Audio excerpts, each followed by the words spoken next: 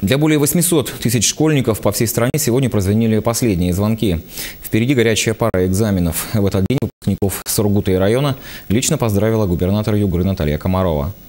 Трансляция видеоконференции шла из Сургутской гимназии лаборатория Салахова. Поздравляя школьников с последним звонком, Наталья Комарова особо подчеркнула, ничего печального в прощании со школой быть не должно. Это всего лишь начало нового этапа в жизни. Он же последний, он, же и первый э, рабочий теперь уже звон.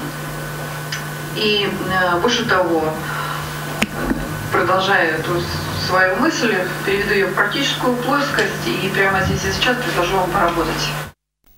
Губернатор призвала всех выпускников принять активное участие в разработке стратегии общественного развития Югры. Документ будет охватывать период до 2020 года включительно. И, как выяснилось, подрастающее поколение жаждет диалога со взрослыми. Кстати, сургутские школьники предложили создать молодежную трибуну на сайте Ассоциации детских молодежных объединений, где можно будет размещать свои предложения по формированию социальной политики в округе. Наталья Комарова эту идею поддержала.